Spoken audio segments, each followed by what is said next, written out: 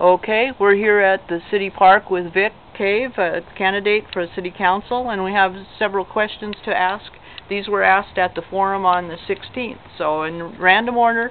Um, our first question is, can you put the needs of the citizens of this city ahead of any personal agenda and work in a civil manner and without rancor with the incumbent city council members and the mayor?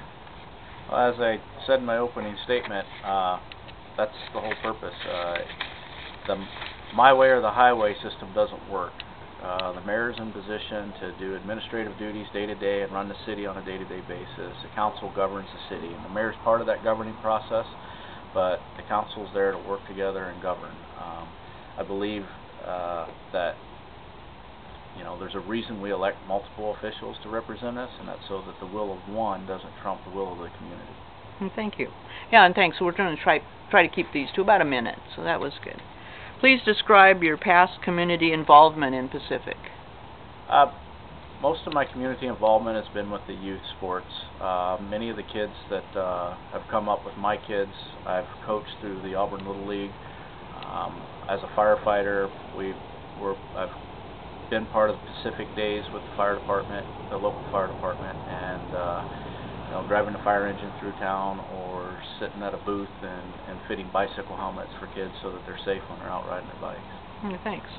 Um, the city council has several standing committees, the finance committee, public works, community, uh, service, or human services. Um, I mean, there might be another one I'm not thinking of right now. But uh, which of these committees do you think you're qualified to join, or uh, why do you, and why do you think you're qualified for those? Well, my business degree and background uh, with my, my education there and working with budgets in the fire department and running small teams, probably the finance committee would be a good fit for me. I'm pretty good with numbers. My uh, economics professor tried to discourage me from staying a firefighter and, and getting involved in the business world because I, I had a good affinity for numbers and finances. Um, but I believe I could contribute pos- positively to any of the communities that the city has available to us. Okay. Have you re- regularly attended City of Pacific Council workshops and city council meetings over the last 18 months? I have not. I have. Uh, I had some people approach me and ask me to run for uh, city council, and because of the turmoil that was going on, I purposely wanted to stay away from it to prevent from passing judgment. That way, if I get elected to the position, I can walk in with a clean slate and just actually look at what's on paper, identify what our needs are, and get from there. Prior to that, I did attend several meetings over the years and have uh, commented on projects that have gone on in the city to try to help guide the council in a direction that I thought that they should go. Okay. Do you own a home or a business located within the City of Pacific? I do own a home. I've been there for uh, over 20 years now in the city. Oh, thank you. Um, question from a different questioner. A lot of these were drawn from the hat. The council makes the budget. You have to choose between cuts in public safety staff and human or youth services. Um, the question was also put another way. Uh, do you put money into parks or uh, more infrastructure so the city can develop more? Um, where would you cut and why? Uh, until I sit down and actually look at the budget, I don't know that I would want to cut anything uh, right now. Uh, again, it gets back to my, my initial statement. I want to prioritize uh, our needs. So let's look at needs. Public safety is obviously a need. Right now, with the cut in the police force, uh, we're a target for crime in this city. And I want to get us away from being a target and create a deterrent. So public safety would be important to me, um, on the police side especially and then again prioritize uh, our needs and then get down to our wants, things that make us function better as a community, make us more efficient, more effective as a community, and then the luxury items, which are how do we build our community, which would get more into the parks. And so right now parks might be a little lower based on where we're sitting as a city right now because of what's gone on in the last 18 months. Okay. Um, this question was uh, put in the box at Pacific Days. A woman had a metal storage container next to her house, and she uh, she said that um, she was told by the city building inspector that she couldn't have it there for temporary storage. So her question was, can the city code be changed to allow a storage container? The city of Algona allows storage containers on property. anyone who knows me knows that I'm a property rights uh, supporter, and I believe that unless there's a fire hazard or a threat uh, being uh, that's caused by that container, if it's your property, you own it, and you'd like to store stuff in it to keep it safe um, and to keep it from being ripped off, then why not? Um, I think the if there's something in the code that doesn't allow it, maybe we should look at that and and make it easy for property owners to secure their stuff because they can't, let's face it, they can't rely on our police force right now to deter crime. So if that's going to help people keep their stuff safe, then we got to make accommodations to allow for that. Okay. Uh, another questioner asked, what are your qualifications? It's funny, politicians like to talk qualifications. What makes any politician qualified to do anything? Um, what qualifies me for the job? Uh, I'm 45 years old. I've got a lot of life experience. I'm a combat veteran. Uh, I manage my own budget at home, and I'm doing quite well with it. And I can do the same for the city. Uh, if qualifications are what makes politicians effective, then we're not doing very good as a country because uh, our country's kind of a little bit of financial uh, ruin right now with the debt continuing to pile up. If it took qualifications to be there, not sure what they're qualified to do. Yeah. Uh, the same questioner asked, why do you want to serve? Uh, basically, I was going to get involved about five years ago when some when the city council I spoke about a, a project off of Butte, the Sunset uh, Street that was rehabbed. Um, we cut the planning commission cut the lot sizes down below 5,000 square feet. Um, and when you really take a look at that, that doesn't give a community the opportunity to bring citizens in that want to stay for the long haul. That, that those types of lots uh, cause turnover or get turned into rentals and not maintained very well. I think our community needs people that want to live here for the long haul, and we need to make a community and build a community that does that. The Growth Management Act uh, was the excuse why we had to do it. We had to absorb so much of the population in King County. Um, I don't believe in that. Uh, I don't really believe the Growth Management Act is all that constitutional uh, from a country standpoint. Um, I think people should have the freedom to live where they want and have the room to live where they want to live in the manner in which they want to live.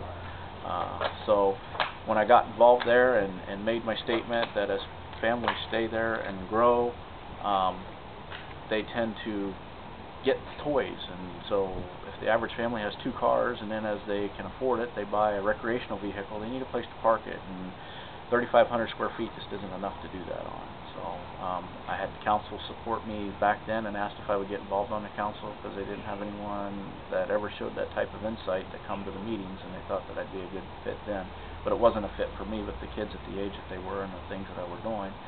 Now that my kids are a little older, I have a little bit more time and can get involved. Okay. Um, let's see. I think we've covered the third question was how long have you been active in city affairs and uh, we have a question from that was emailed in. Um, do you have a criminal record? If so, please elaborate. Uh, not really, not that I can think of. I mean, uh, yeah, I've probably had a speeding ticket over my lifetime once in a while, or a parking ticket here and there. Um, and yeah, the fishing Game cited me for not marking my salmon down on my catch card. That's about the the extent of it. So, but I haven't taken more than I'm allowed, and I, I, I'm not a criminal. So. Okay, thank you. Uh, her next question is uh, for those that are running for council and do not attend current council meetings. You're running for council. Why is it that you do not attend council meetings? Well, I think you answered that. Do you feel that you have enough knowledge of how council works? Yes, it's governing body. It's not unlike any governing body. Whether you're part of a Auburn Little League, they have a governing body that governs them, and they have a, a budget to manage, and they have a uh, mission statement that they that guides them in the direction they're supposed to go. The City of Pacific is no different. The City of Pacific has a mission statement. I couldn't recite it to you verbatim right now, but uh, you know their duties and responsibilities to the community are there and anyone who has a sense of duty understands what that is. Again, if you don't have a hidden agenda out there where you're trying to accomplish something or circumvent something by become, becoming part of the governing process, then it's just you know, goodwill and having your heart in the right place and doing the right thing.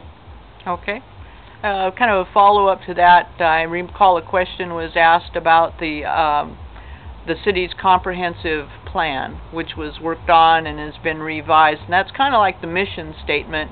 Um, have you uh, read the comprehensive plan? Um, about five years ago, I read it, and I know it's been modified and changed. I, I haven't read the the updated version of it. And basically, a comprehensive plan is, you know, where our growth management boundaries are, where the potential boundaries could be in the future, uh, because every city um, the state, through the Growth Management Act, has required each city to look at portions of their counties and, and look where they can expand the borders to absorb the, the population to keep more open areas uh, out in the country and, and preserve our farming communities and our timber uh, areas.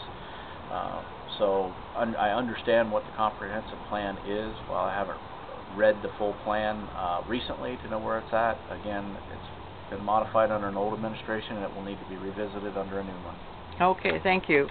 Um, this one came from Pacific Days. Uh, what would you do to help rebuild the image of Pacific to a positive image?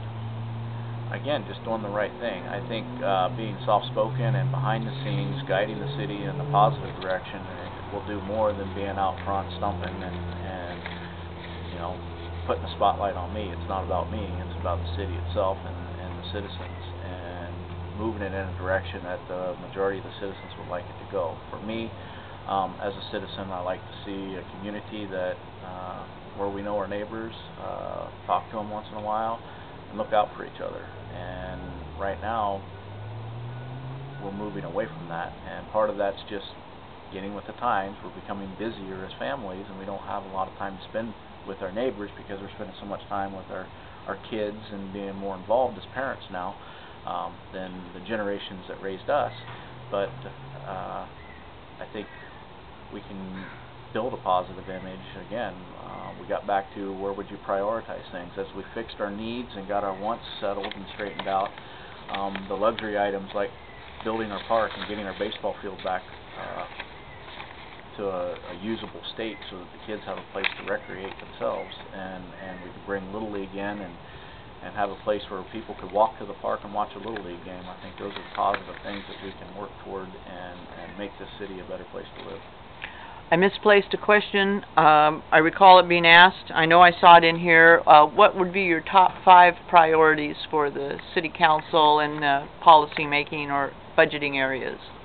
Uh, number one is identifying our shortfall in the police uh, staffing um, ensuring that we, we take care of that. Number two would be addressing the lawsuits that came of the last administration and trying to get the, the slate cleaned up there so that we can get moving forward rather than focusing on the past.